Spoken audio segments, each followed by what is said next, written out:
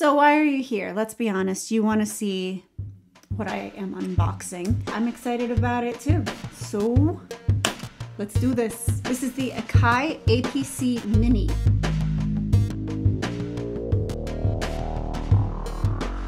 I got this as a Christmas present. I still have wrapping paper attached to the back, or tape and wrapping paper. I wasn't sure if it was the MK2 because there's an older version that looks a little bit different. But then on the back, let me see if I can get it in focus. On the back right here, it does say MK2. So thank you very much to my brother who, who got this for me. I'm super excited to finally dive in and I feel ready now. I've been super excited to open this, but maybe a little intimidated. Like I have to be honest. Um, I've never used a controller like this where you're assigning things to different pads. It's just an area that I haven't dabbled in. So if you have any experience with this guy, drop some comments in below. I'd love to hear any pointers you might have for me.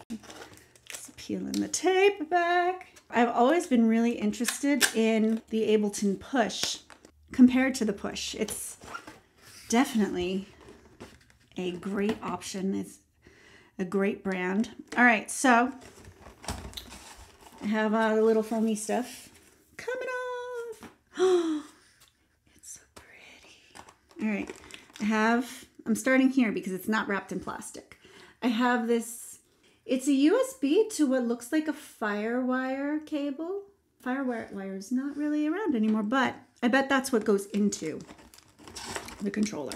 All right, it's like stuck. Come on, come on. Come on, little one. Do something to Okay. All right. It smells like plastic, but almost like a like it reminds me of like a pool store with like, you know, rafts and pool accoutrement. Okay, so I'm seeing here, yeah, so right here, this is where I believe, I think it's Firewire. I mean, I have to check.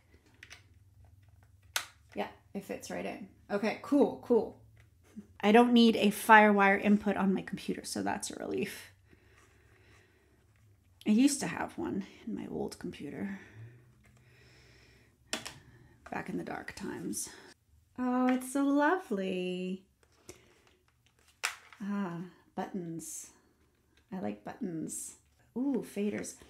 Okay, so this is like a thing tactilely, like the way a fader feels. It has to be just right. And this is just right.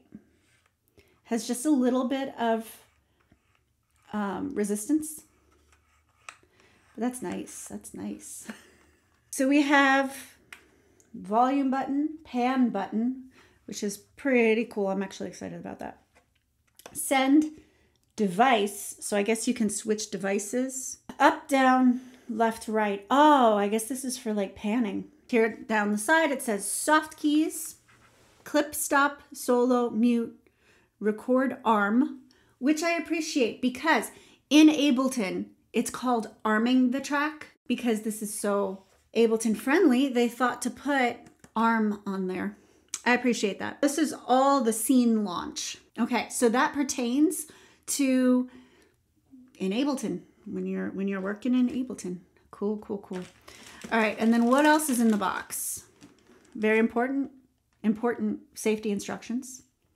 Use responsibly. Don't go throwing it at people. And then my much needed instructions. Your hit song starts here. That's cute. I like that. Very, very cute. Um, software download. We're not doing that today. And then the user guide.